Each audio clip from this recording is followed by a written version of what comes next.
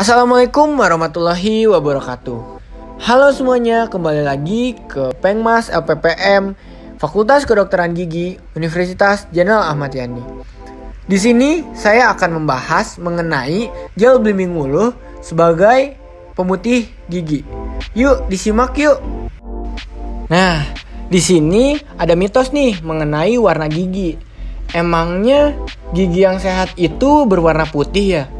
Apakah mitos ini benar? Faktanya adalah warna gigi yang sehat itu dipengaruhi oleh berbagai faktor, seperti faktor usia, kebiasaan merokok, pola makan dan minuman sehari-hari. Gigi yang sehat adalah gigi yang tidak berlubang dan tidak mengalami kegoyangan.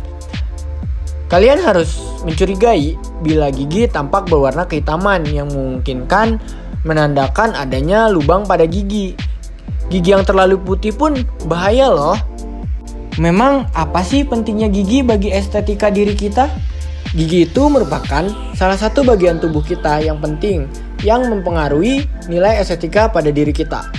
Pentingnya estetika gigi itu sendiri yaitu dapat meningkatkan kepercayaan diri seseorang karena hal yang pertama kali dilihat orang ketika bertemu yaitu senyuman. Maka dari itu, yuk kita jaga gigi kita kurang percaya diri karena gigi kuning.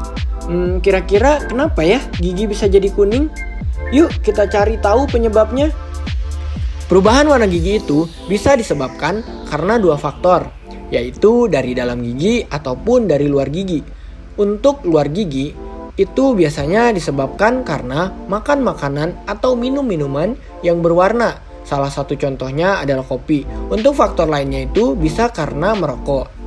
Untuk faktor yang kedua adalah dari dalam gigi. Dari dalam gigi itu biasanya karena kelainan gigi, kemudian terdapat benturan, penggunaan obat, dan karena keturunan. Nah, cara mengembalikan warna gigi tersebut menjadi normal itu biasanya dengan cara pemutihan gigi. Bingung cara mengembalikan warna gigi tapi hanya percaya bahan alami. Nah, Salah satu caranya itu dengan menggunakan belimbing wuluh. Kenapa sih kita harus pakai belimbing wuluh? Alasannya itu karena belimbing wuluh memiliki kandungan mineral berupa kalsium dan fosfor yang baik untuk gigi. Kemudian juga memiliki senyawa karboksilat berupa asam oksalat yang bisa dimanfaatkan sebagai bahan pemutih gigi alami. Berikut ini merupakan manfaat atau khasiat dari belimbing wuluh terhadap kesehatan gigi dan mulut. Yang pertama adalah memutihkan gigi. Seperti yang sudah saya sampaikan tadi, bahwa belimbing ulu ini memiliki senyawa karboksilat yang dapat dimanfaatkan menjadi bahan alami untuk memutihkan gigi. Kemudian yang kedua, bisa dimanfaatkan sebagai obat sariawan karena belimbing ulu memiliki kandungan flavonoid, tanin, dan saponin yang memiliki antibakteri untuk menghambat pertumbuhan bakteri sehingga dapat memulihkan sariawan. Yang ketiga itu, belimbing wuluh dapat menyembuhkan gigi yang berlubang. Selain untuk memulihkan sariawan, flavonoid dan tanin dapat menghambat bakteri sehingga dapat menyembuhkan gigi yang berlubang. Mungkin itu saja yang bisa saya sampaikan.